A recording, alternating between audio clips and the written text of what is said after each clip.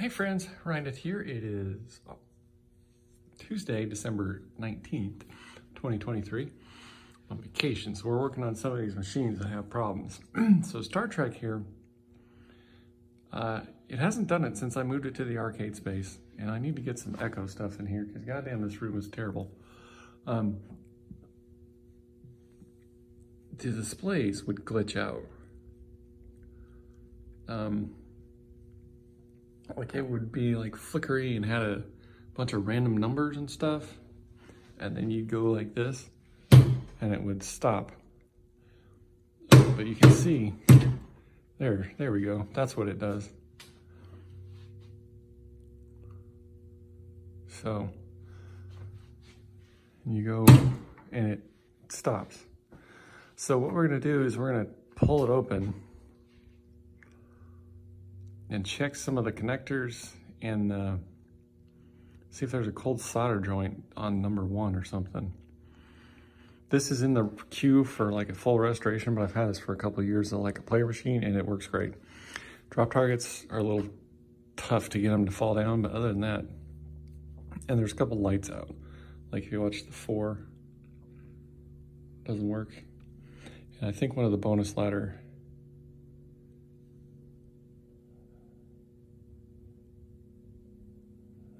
Okay, that Christine's itself too. Anyway. So what we're gonna do, yeah, like we're gonna pull this apart, and see if we can fix it so it stops doing that crap because it just ruins your game. Okay, let me pull the glass and we'll go from there. All right, so hopefully you can see this through my big hand here. Look at that one. But if I go through and wiggle, like looking for cold solder joints.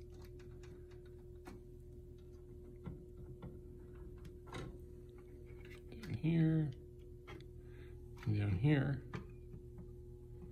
All the displays stay pretty solid, but I figured it was up in here somewhere since pounding on there fixes it. So we wiggle this connector, nothing happens, but we wiggle this connector and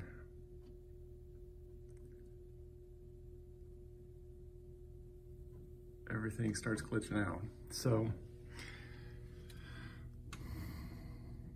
I guess what I'm gonna do, pull that off of there, reseat it, and then try it. I mean, it's obviously a new board, so you wouldn't think it would have that issue. But if it still does it, we'll pull off of there and see if there's a cold solder joint or something on the back of it.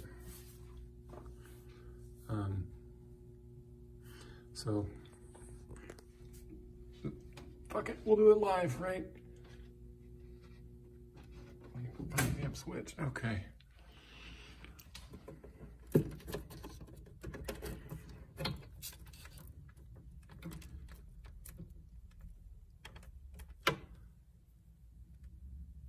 We obviously repin that one.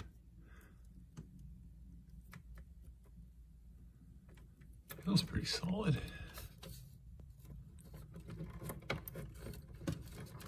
Her back in there.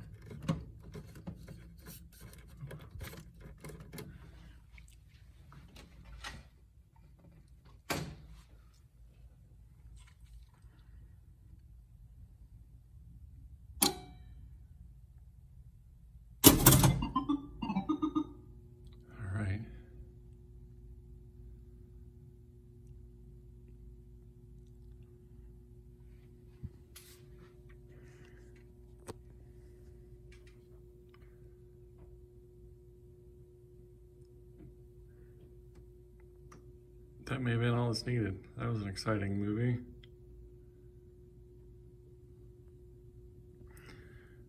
Wiggling it pretty hard, nothing's happening. Hooray. So, maintenance done on Star Trek. Actually, I actually have two of these. One's in, in the storage room over here that doesn't work thinking about getting the GTO board for it when I get that going. Um, I don't know if it works at all, actually. I bought it out of a guy's van, literally. drove up to Dallas and he had it sitting in his damn van for two or three months. So I backed my truck up to his van, loaded it in there and went home. what I don't know is why that one says three.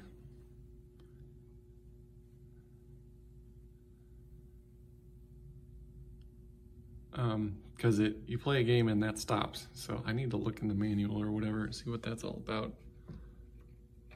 Bulb here. Oh, it's not out, it's controlled. Duh. All right. Let's go over here and give it some love like we were doing.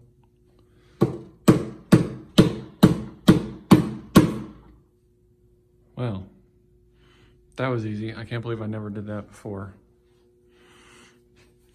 So, moral of the story, don't be a lazy bastard. Anyway.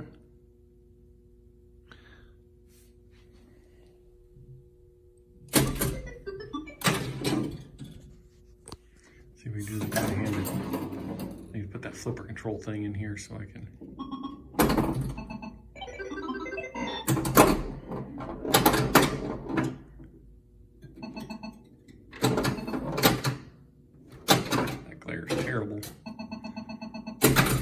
So the guy I bought this from was a reseller. Uh, he put these stickers. You probably can't really tell, but they're decals. You can get them on uh, God, whatever it is that owns the Bally Williams name. I forget, they have a couple kinds. Planetary, yeah, Planetary Pinball. But this has stickers on all these damn things, and this whole yellow thing is in fact a sticker. I mean, you can see, get the glare right. It's, it's awful under there, so we'll see if we get a new playfield or we fix it, but maybe we'll try and fix it. It's not bad.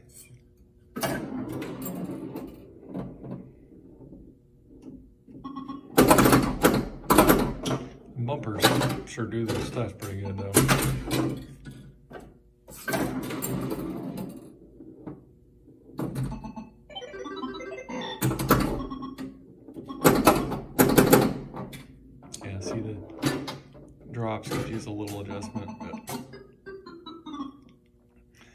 Mess with that till we go to restore it. Yep, all right, we'll keep it real. Thanks for watching. Should have put the glass back on. All right, catch you next time. Later.